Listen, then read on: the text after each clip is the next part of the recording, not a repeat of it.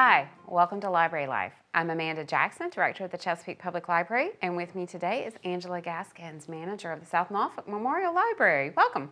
Thank you.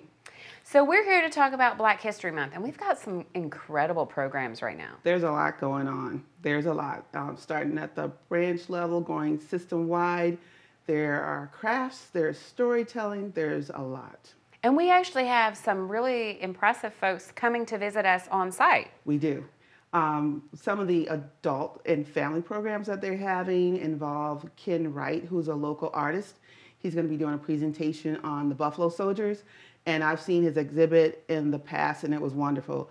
Um, people are going to love the drawings and the um, paintings that he has, as, as, well as some sculptures. Um, we've got, um, and that's going to be at um, Major Hilliard Library. Mm-hmm.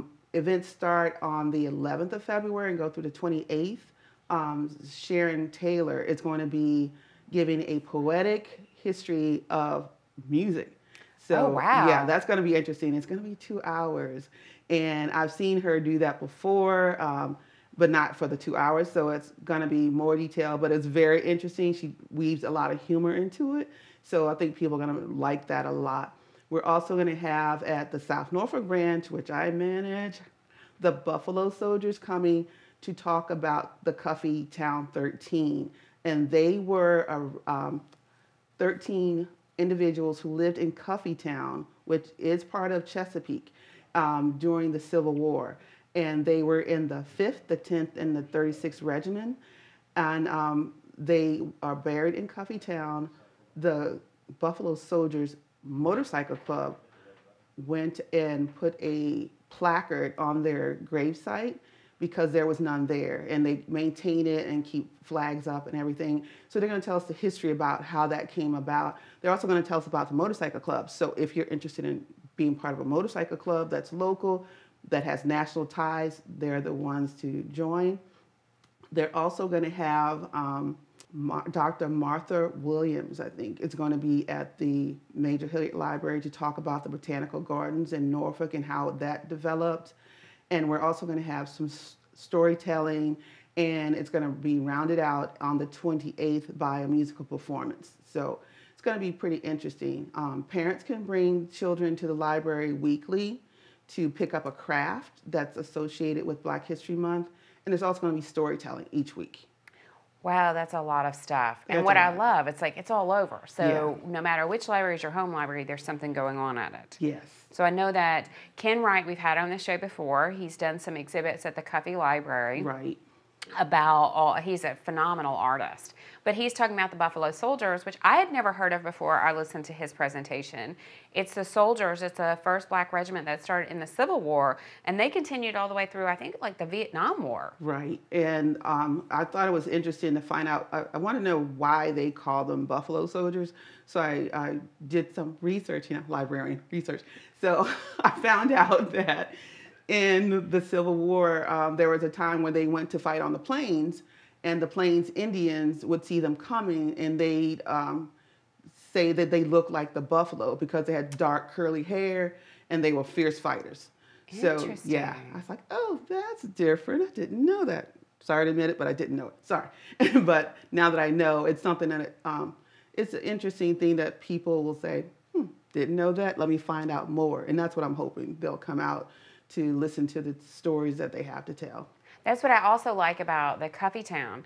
So many people don't realize that there's so much rich history here in Chesapeake. Exactly. And it's kind of gotten lost. So it's a great way to remind both our adults but also our kids that history happens right here in Chesapeake. Right. And that's what I, uh, I'm appreciative of. And I didn't realize the history of it until I went searching on the tourism site and found that information. And I said, well, let's see if there are actually some Buffalo soldiers here that we could talk to. And lo and behold, they do exist here. So hopefully it'll open some people's eyes to what's available in this area. And because a lot of people will go out of town to look for history, but mm-hmm. history's right here at your door. So there's so much rich history in Chesapeake. Yeah. I mean, Dismal Swamp, the site of part of the Underground Railroad. There's yes. so much that a lot of people just don't realize. And the storytellers are phenomenal too. I'm really excited about the music. And then I saw that Dylan Pritchett was going to come. Yes. I'm familiar with him from way back. So he's a phenomenal storyteller. Very, very exciting. And then we also have Kwame Alexander coming too, right? But virtually. Oh. I know. He's coming virtually. So he's going to be talking about his latest book, which, not to brag, but you were able to make sure, sure that it unveiled itself. It was, you know, it, it, it was released here in Chesapeake at Black Ink last year. Last September, he was here in person and he came out, and the people responded favorably to his presence. He talked about his new book, and this was the first stop on his uh, tour to publicize that book. And I think it went really well, and people were glad to see that he was back in town. Yeah, he was such a nice guy. It was on my bucket list, so thank you very much for giving me something to mark off that I've met him, and I felt very impressed with being able to to say that now I know him. We're like best friends now. I think he doesn't know we are, but we totally are. In the yeah. In, in my in my Yeah. head, mm-hmm. yeah, yeah. Okay. And his father is a huge part of the Black History movement in Chesapeake. He was very Dr. Alexander was very integral to the civil Afro Union soldiers and making sure they were memorialized here, and that there was a that like like the uh, Buffalo Riders that. We memorialize them and we mark those places that have, could be off, often forgotten. Yes, and I, I do appreciate any bit of history that is there to let people know what we've gone through and what we can accomplish if we put our minds and our energy into doing it. Yeah, I love this because it's such a celebration of history and such a celebration of Chesapeake and Black history. So there's uh, so much going on.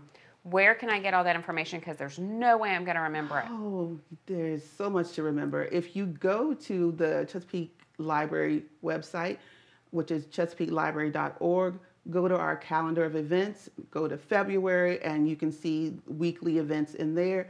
And I also want to mention that people who t- attend the events, read books during the month of February, can um, sign up for our Beanstack Challenge Oh, yeah. and win prizes. So that's something that may get the kids going. Oh, that's a great point. So, ChesapeakeLibrary.org, you can find all of it under our events page. We also, under our online resources, have Beanstack. Hit there, sign up. We constantly have for the different months and the different events we have going on challenges. So, we were just talking about before we started that we try to read, but sometimes get it, things get mm-hmm. away from us. This is a great way to encourage yourself to read, give yourself goals, and to also learn new things. Yes, I love learning new things. Just to say, I do.